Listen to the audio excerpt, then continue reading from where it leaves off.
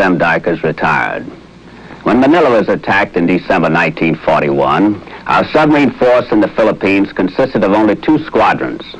Among these ships was the S-38, one of the smaller, old-type submarines. The story we are about to bring you concerns this ship and its heroic action during the Japanese invasion of the Dutch East Indies. The performance demanded of this boat by its crew could never have been anticipated by its builders. Let's see what happened.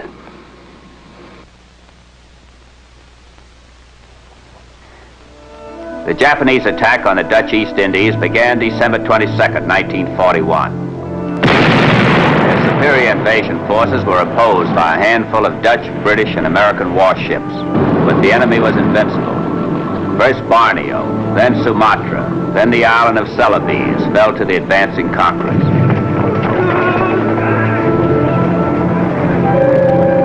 By February 11, 1942, only Java remained in our hands. The word went out. Every effort was to be made to hold that island. On February 20th, the remaining Allied forces, consisting primarily of cruisers and destroyers, formed a combined force to intercept the expected invasion of Java. Among these ships was the USS S-38, commanded by Lieutenant Henry G. Munson of Alexandria, Virginia. Assigned station in Madura Strait, the S-38's mission was to attack any landing force headed for the Dutch naval base at Surabaya. During the early morning of February 27th, the S-38 received urgent orders to proceed to Bawean Island. A Japanese landing party had captured the town of Sangkapura. Bombardment of the enemy was requested if feasible. Our intelligence indicates the Japanese have four 75 millimeter guns at Sangkapura. Now, the request for a bombardment said, if feasible. We don't have to do it. It's not a matter of having to do it, Red. I want to do it. With four 75s against us? They're only three inches. With our four inch, we've got them beat.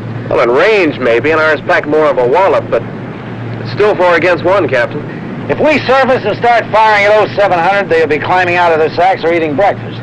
We get off five rounds, and they'll stop eating breakfast. We'll keep the deck about six inches out of the water. The conning tower will be their only target. That would help. Wouldn't give much to shoot at. See, we have 74 rounds.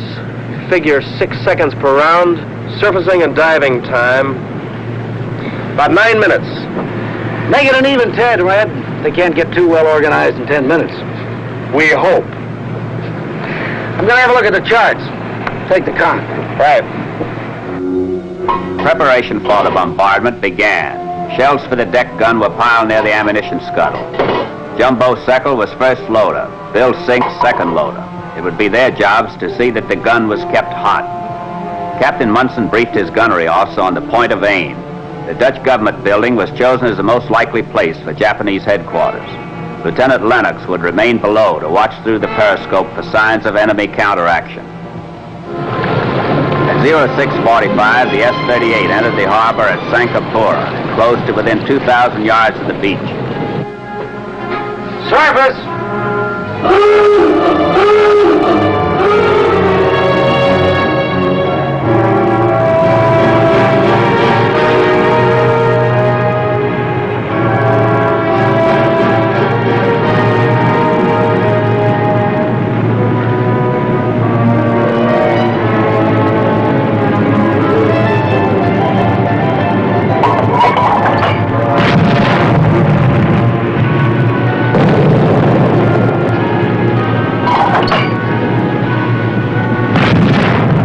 S-38 shelling of Bawean Island brought answering fire from only one enemy gun.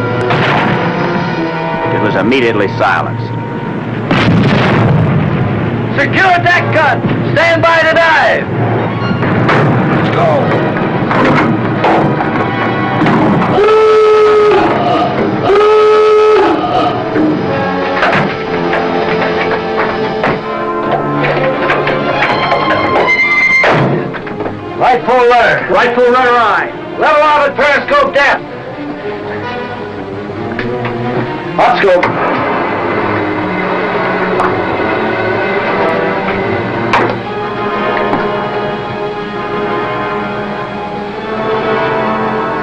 We sure gave it to him, Red. Take a look.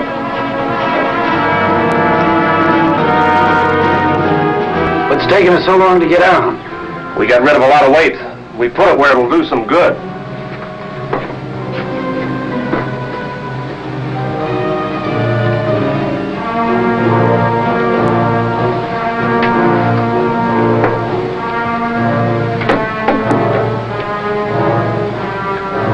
They sure know we've been here. Rudder. Steady on course 175. Left full rudder, steady on course 175. After the successful bombardment of Bawean, the S-38 resumed patrol. Comfort on the old S-boat was out of the question. The bright tropic sun and the water of the Java Sea made inside temperatures soar to over 100 degrees. The crew looked forward to night when the boat surfaced to charge batteries and the big diesel engine sucked in cooler air. I said, look, I can't box. The wrestling team's okay with me, but I'm no boxer. He said, I'll teach you. You can be champ. Yeah, you and Joe Louis. By the time the war's over, Joe Louis will be too old. So will you. You gonna let me finish this story? I said, look, I don't want to hurt anybody. I ain't got the feeling for hurting people. You know, you gotta have that killer instinct they talk about. Me, if I see anybody hurt, I get sick in the stomach. You know what he said to me? Tell me what he said and then move, will you? Said, you must be yellow. I'd have slugged him. What do you think he's back in the States for now? I have his jaw wide in two places. You don't pay attention to the game.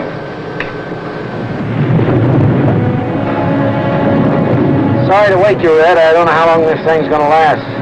Better take a look.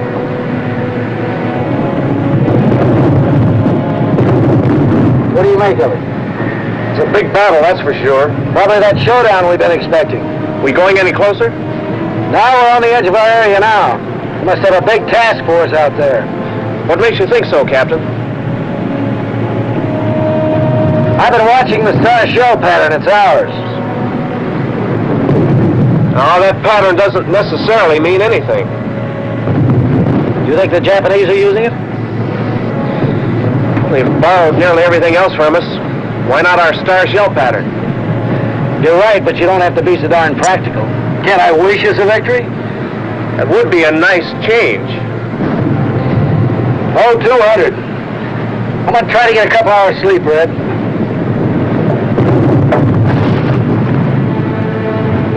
Red? Yes, sir. Did you say something? No, sir. Look out, were you talking? Wasn't me, Captain. Came from off the starboard somewhere. Did you hear it? I thought it came from below. No, I was just down there. It's off the port side now, Captain. There's somebody out there, Red. Look out! Do you see anything? No, sir. Help! You think it's a trick? Possibly. Help! Help! Battle stations, gun action! Battle stations, gun action. Is he kidding? We haven't got any more ammunition. Come on.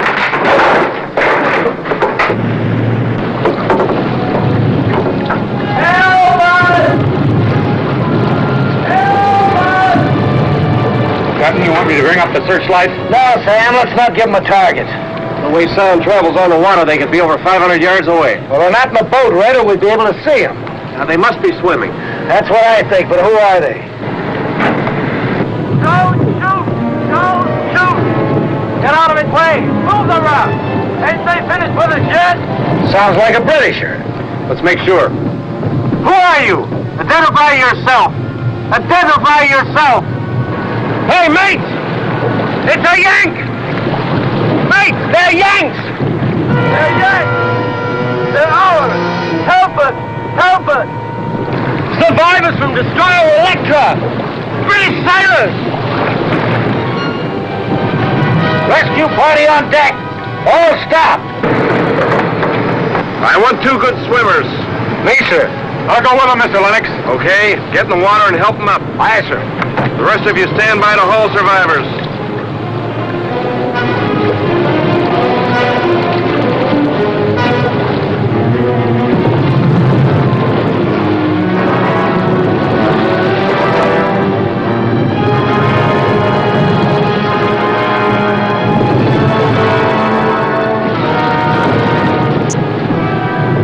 25 or 30 of them, Captain. Yeah.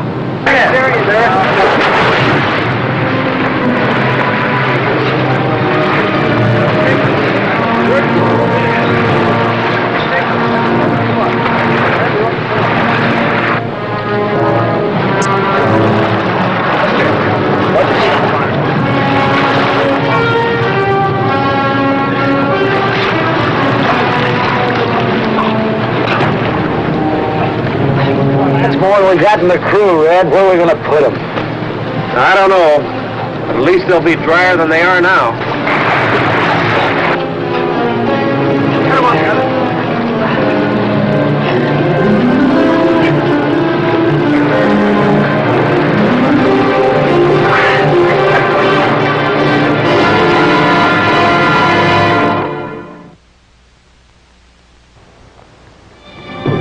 British destroyer Electra had been sunk by gunfire on the morning of the 27th while attempting to lay a smoke screen.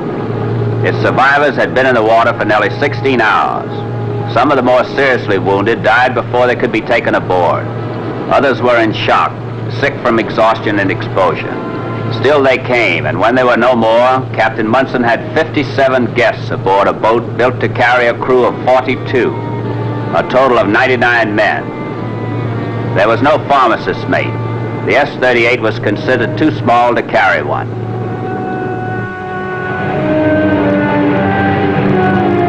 You got a shard, fellas. One ounce to each man. We'll get some food for you soon. Tell the doctor it's my leg. It's broken. Mr. Lennox will get to you soon, buddy. Just hold tight here.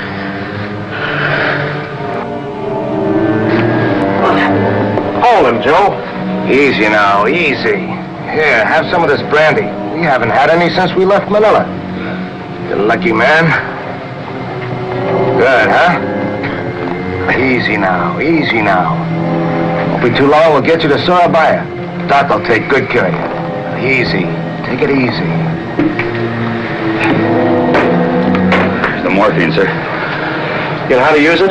No, sir, but there's a warrant officer named Freely taking care of some men in the crew's quarters. Get him up here. Aye, aye, sir.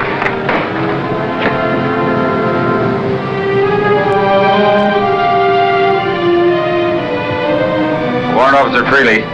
Here? Follow me.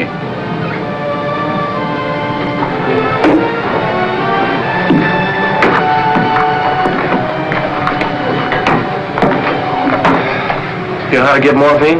Yes, sir. Let's take this box and inject everybody who needs it. There's one I passed in the crew's quarters, looked in bad shape.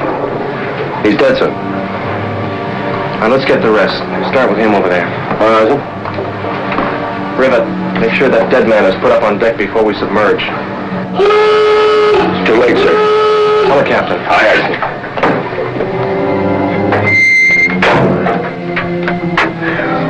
Level at 60 feet.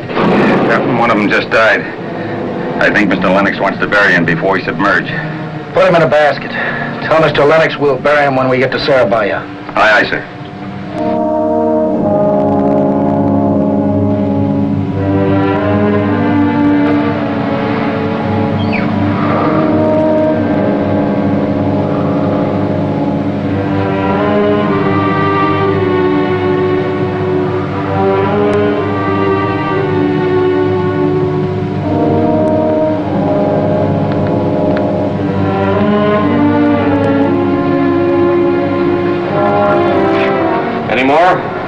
Sir. Joe! Can't breathe, sir. Take him to the engine room. I aye, sir. Try not to move that leg, sailor. Thank you, Doctor. You're welcome.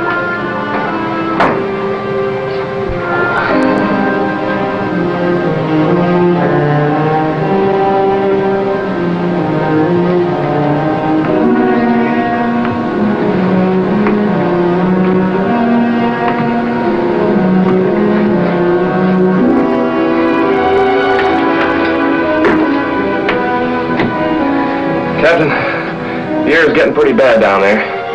Can't we surface a while and give some of the men a chance to get up on deck? Read and weep, Red.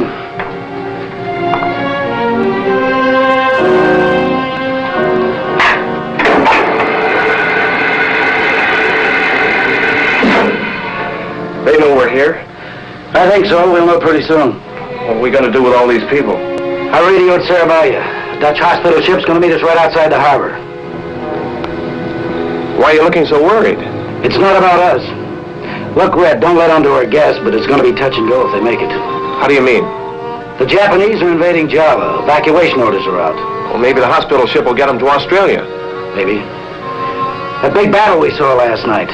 Combined forces lost four cruisers and two destroyers. What's left is scattered all over the ocean.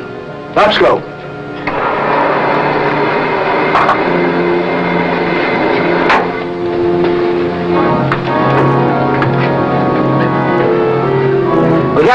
Red. The depth here is only a hundred feet.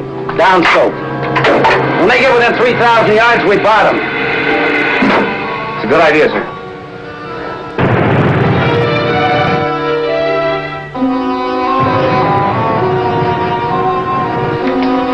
Downscope. All stop.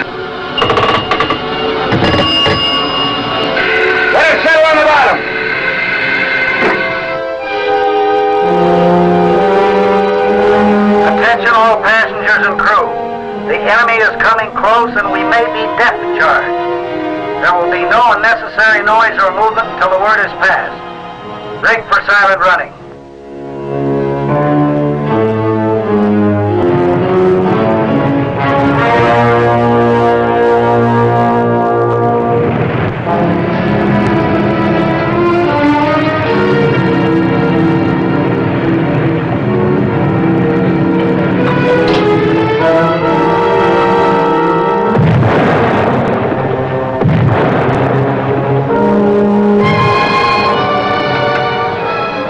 Lost us?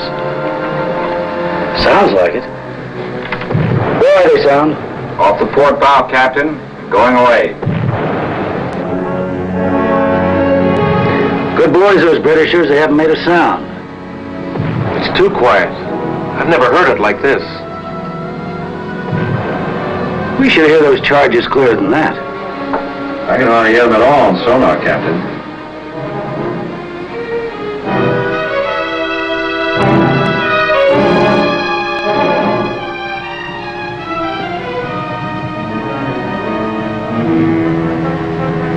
Can't hear them anymore. Must be out of range. Good. All I had one third. Bring her up to periscope depth. Bring her up to periscope depth. Captain, something's wrong. She won't answer her helm.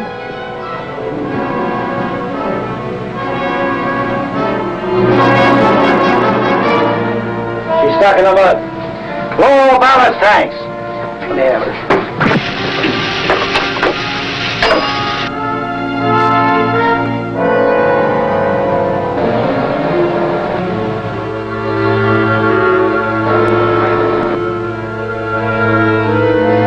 We made five feet. Yeah. Captain, a couple of guys just fainted. The oxygen's pretty low. Tell Mr. Forbes to bleed oxygen into the boat. Aye, aye, sir. We're breaking loose.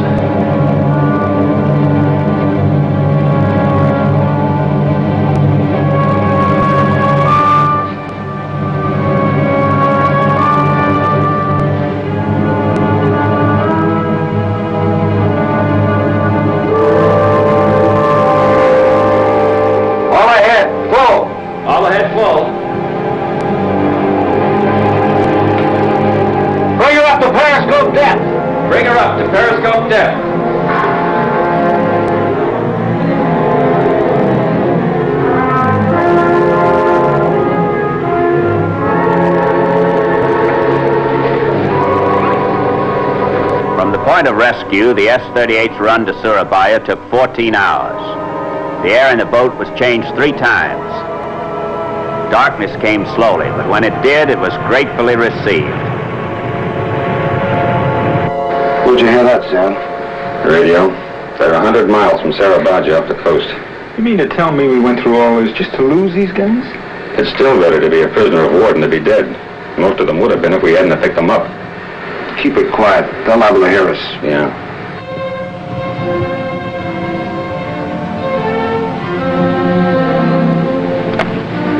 Not a sign of that hospital ship. Two hours late. Oh, we're in the right position. We've got to get these men off of here. If I try going into the harbor, submerged, Now, there's too many mines, Red. We can't take that chance. Bring up the searchlight. For an hour, Captain Munson signaled across the minefield, asking for help. It finally came. And the S-38 was led through the minefield to a barge. Berthing facilities had been destroyed by air attacks.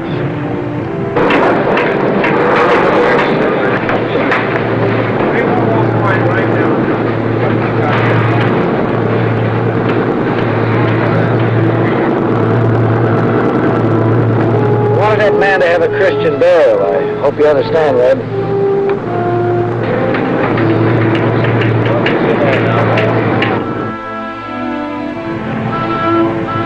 After debarking the Electra survivors, the S-38 was ordered out of the harbor. Java was in flames. The rescuers and rescued alike knew they would never see each other again. Captain Munson resumed patrol as ordered. Although nearly intercepted by enemy forces, the S-38 managed to infiltrate a convoy and saw its remaining torpedoes sink one transport and damage another. Java was overrun in three days, although it did not formally surrender until March 9th. By then, the S-38 had been ordered to Perth, Australia. Then three months later to Melbourne for complete overhaul. Hey, Joe, look!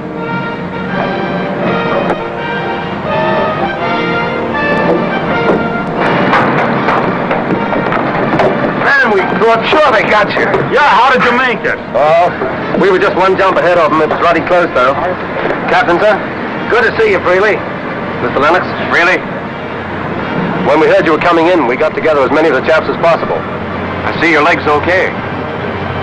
Did a perfect job, Doctor. I've been working under the wheat now, and all the other chaps get along just fine. Well, that's good, but I'm not a doctor. I'm the executive officer. We're shipping out in a new destroyer, sir. And on behalf of all of us, our undying gratitude to you and your crew. Good luck. Thank you. Well, doctor or you've got the best hospital ship in the South Pacific. Good luck. Bless you.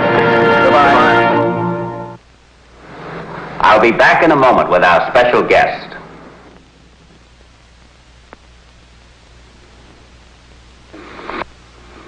And now I'm very happy to introduce to you Captain Henry G. Munson, who was skipper of the S-38 during the events you've just seen. Hank, I'm sure our audience would be interested in the footnotes you've offered to this story. Thank you, Tommy. One of them concerns the later information that the Dutch hospital ship we didn't meet was sunk by the Japanese just prior to the rendezvous. With Java being overrun, it was lucky that the Electra's survivors were able to reach Australia. It was indeed. Their escape meant a great deal to us. Not only because we'd stuck our necks out, but because we knew that men of their caliber would be hard to replace. There never are enough of that kind. I'll never forget the bravery and quiet heroism of those men, one in particular. I couldn't identify him, but from his voice I could tell he was young. Even though he was having trouble keeping his head above water, he refused to let anyone help him until his wounded shipmates were safely aboard. The tragic part of the story is that I was never sure he was among the men we saved.